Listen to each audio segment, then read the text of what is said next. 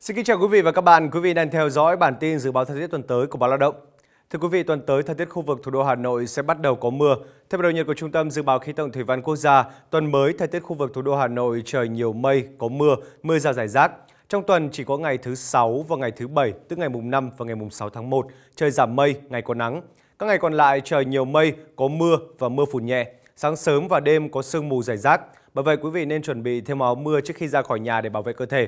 Nhiệt độ cao nhất dao động trong khoảng từ 22 đến 26 độ C, mức nhiệt thấp nhất là từ 16 đến 21 độ C.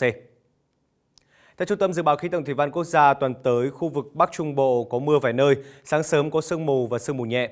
Từ khoảng ngày mùng 2 đến ngày mùng 3 tháng 1, Bắc Trung Bộ có mưa, mưa nhỏ rải rác, đêm và sáng trời rét. Riêng thời kỳ từ ngày mùng 3 đến ngày mùng 5 tháng 1 trời rét đậm. Thưa quý vị, tuần tới khu vực thành phố Hồ Chí Minh sẽ tiếp tục duy trì trạng thái nắng nóng. Trong tuần các ngày thứ năm và ngày chủ nhật, từ ngày mùng 4 và ngày mùng 7 tháng 1, nhiệt độ tăng cao, mức nhiệt cao nhất lên đến 35 độ C. Các ngày còn lại nhiệt độ duy trì ở ngưỡng từ 24 đến 34 độ C, trưa chiều giảm mây, ngày nắng. Dưới là các thông tin chi tiết.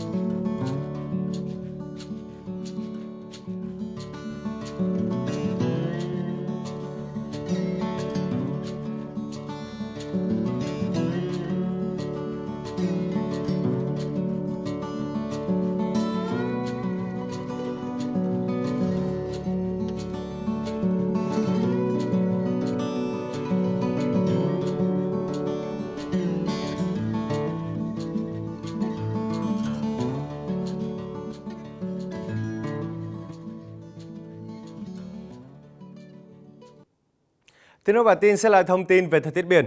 Về thời tiết biển, theo Trung tâm Dự báo Khí tượng Thủy văn Quốc gia, tuần tới khu vực Bắc Biển Đông bao gồm vùng biển quần đảo Hoàng Sa có sóng cao từ 2 đến 3,5 m do hướng Đông Bắc.